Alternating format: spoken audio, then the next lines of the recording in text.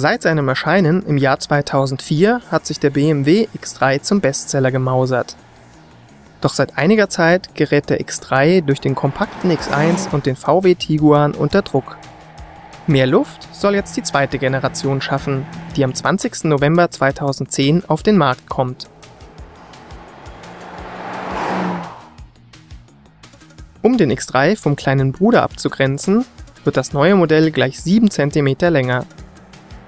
Mit 4,64 Meter ist es nun etwa 20 cm größer als der X1.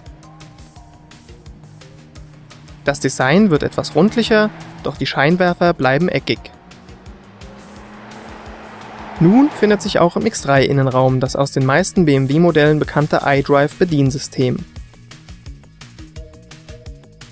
Das Kofferraumvolumen beträgt 550 bis 1600 Liter, legt also gegenüber dem Vorgänger etwas zu. Zum Marktstart stehen gerade mal zwei Motorisierungen bereit. Im X-Drive 20D arbeitet die neue, aus dem Dreier bekannte 184 PS-Version des 2-Liter Diesels.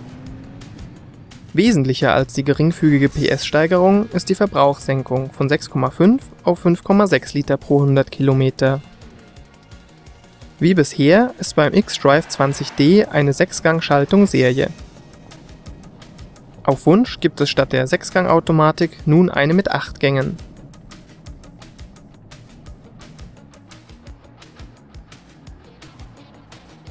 Dass eine Start-Stopp-Automatik für den Handschalter Serie ist, ist nichts Besonderes mehr. Aber erstmals gibt es die Spritspartechnik auch in Kombination mit der Getriebeautomatik.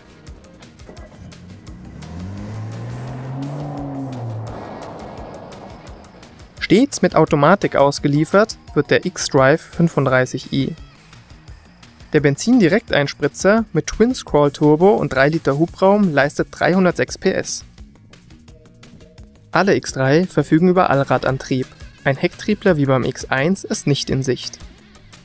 Das Fahrwerk stellt eine Neuentwicklung dar.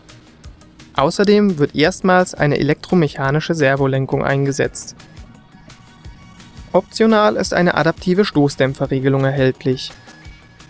Die ebenfalls aufpreispflichtige Performance Control bremst in schnell gefahrenen Biegungen das kurveninnere Hinterrad ab und dreht das Auto so in die Kurve hinein.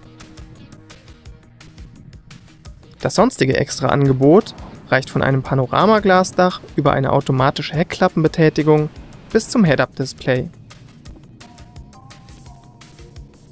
Die Preise für den neuen X3 wurden noch nicht bekannt gegeben. Messepremiere feiert das SUV auf dem Pariser Autosalon im Oktober 2010